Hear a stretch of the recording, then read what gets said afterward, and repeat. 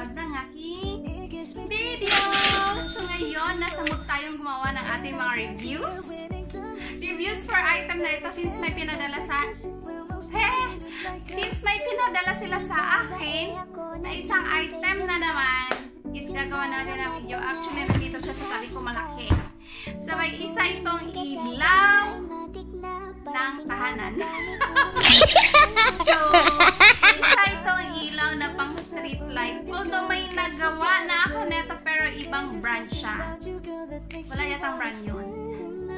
So ngayon, ipapakita ko na sa inyo. Hindi na natin patatagalin. At na matapos na to. So thank you, thank you, thank you sa inyong support lahat. So tara, ating bubuksan ang ilaw na ito.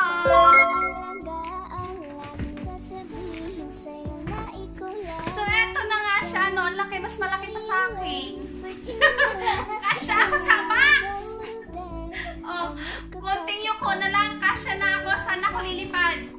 Mauna ako sa Japan, Singapore, Malaysia. so eto na nga guys, ang ating ilaw. O, pag tinaas ko na, hindi na ako nakita, di ba? O, di ba? Kasyang-kasya na ako sa box na ito, sa laki niya. Pero hindi siya ganun kabigat kasi kaya ko yan. Ayan! O, ayan na.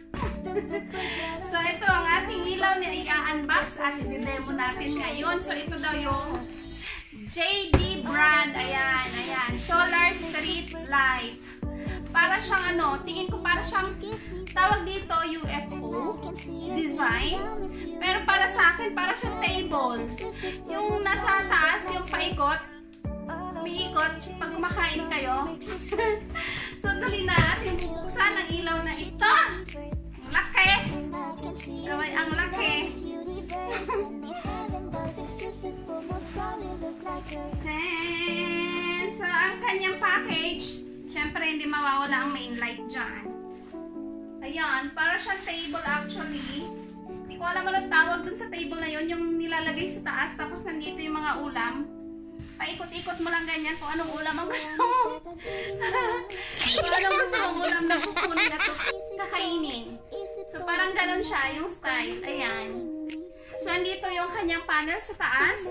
Sa likod naman ay ang ilaw. So, meron siyang column dito na ilaw. 1, 2, 3, 4, 5. 5 column siya ng ilaw. Etong ilaw na ito is 500 watts. 5. 5 lang. 500 watts ito ha. Um, ganito ang kanyang design. Tapos, dito, ayan o. Once na medyo ma maliwanag kasi dito sa bandang likod ko, once na nasinagan to ng araw pa lang, dito madidetect niya na agad. Ayun o, nagre-red na yung kanyang infra or charging, ano. Ito o, makikita niyo red na siya. Kasi, dito banda sa aking side, medyo sobrang maliwanag. So, dikit na ng, um, detect na nung solar, ang liwanag galing sa araw. So, ayan. Makikita nyo, nag-red na siya. So, ngayon, ating ita-try. Oh, pag itataob ko siya sa akin, madilim, wala na yung ilaw niya. So, ayan. Ito ang kasama sa kanyang box. Sabi natin, dahan lang at ang table natin, papakinabangan ko pa yan, kakain pa ako mamaya. Sabi, So, yan ang ilaw. May styro siyang kasama, guys. O, ayan. Very protective yung kanya. Pang-protect para in case na ihagis-hagis ito, hindi siya maduro. So, meron. Char! So, may ganito siya. May screws and battery. Manual and the remote. Ayun ang kasama niya lang sa package. Ito. Manual, screws, and batteries. May maliit siyang kapiranggot na manual. So, ayan ang kanyang kasama. So, dito kanina, ipapakita ko, may pinasabay silang ganito. Although, ito hindi kasali sa uh, packaging. Pero, gusto lang nilang i-show ko din na kung ano yung tube or yung arm, arm tool. Ang tawag doon. Gusto nila ipakita ko yung pwedeng pang kabit kasi ito ilaw lang siya eh kasama sa uh, packaging. So, pag bibili kayo neto, kung may mabili kayo, wala po itong kasamang ganito. Hindi siya kasali. So, in case na maghahanap kayo, ganito po yung pa letter, ewan, ano letter to, basta shape pa ganyan. Kasi pag ano, pag i-install to, ito, idikit nyo kung saan nyo i-install, tapos yung ilaw pa ganyan. So, try nga natin. Demo ako demo, hindi naman tinatry. Kaya ko bang buhatin? So, pag ganyan kasi siya, oh. Ayun. Tapos, screws lang, ilalak lang itong mga to. Oh, in fairness, mabigat ha. Basag ko pa. Babayaran ko pa. Char!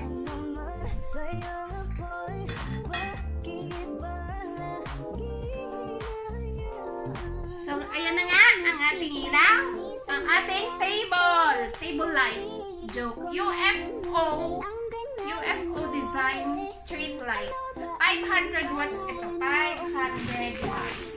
So, tsaka ating paiilawin. Paiilawin. Yan lang no, ang ating ilaw ha. Para siyang table na paiikot-ikutin mo kapag ka, ayan o.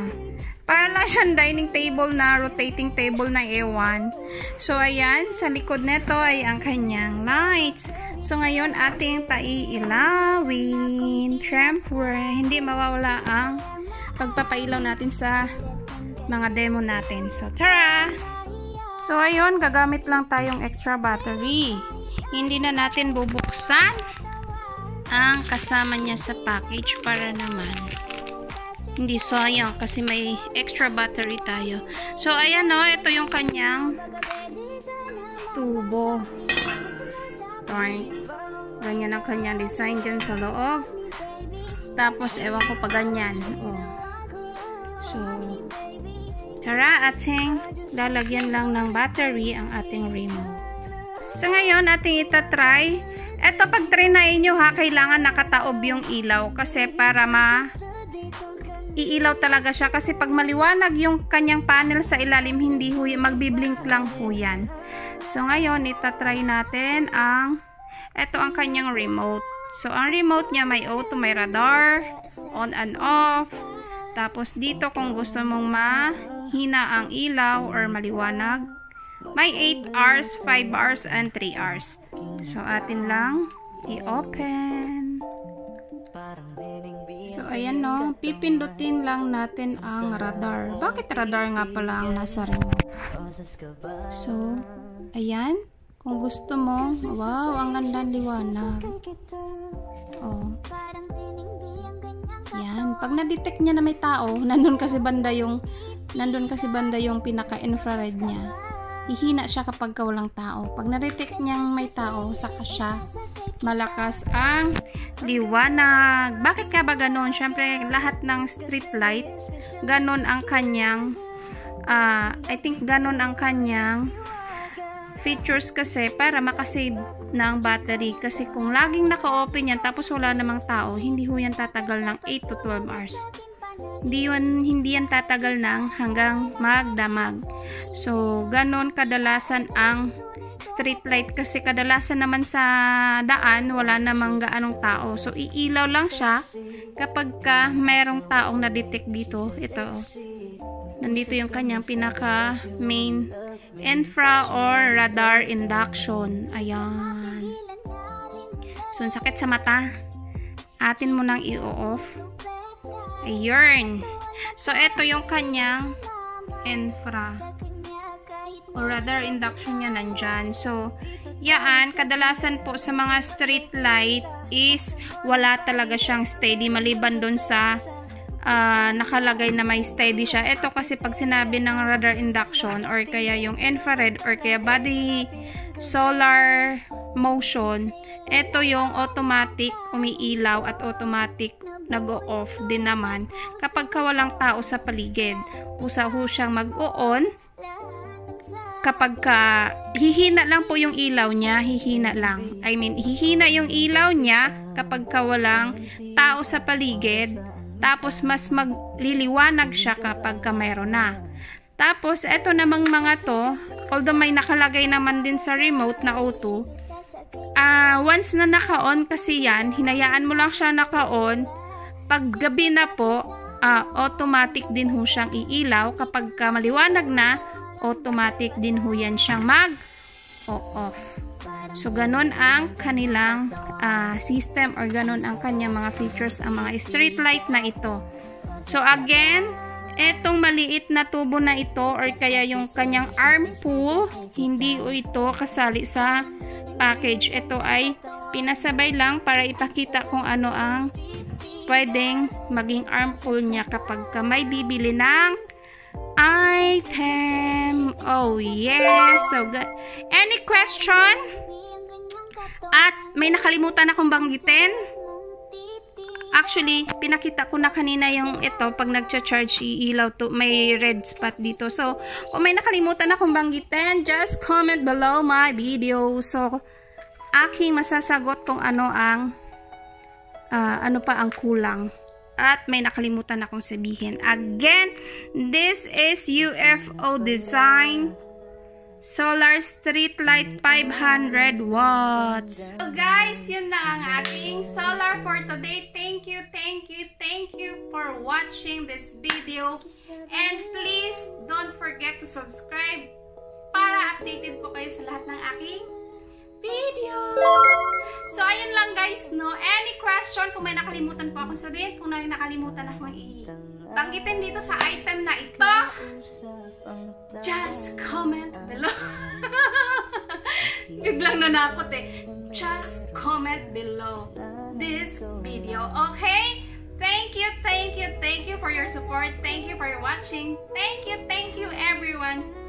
Bye-bye.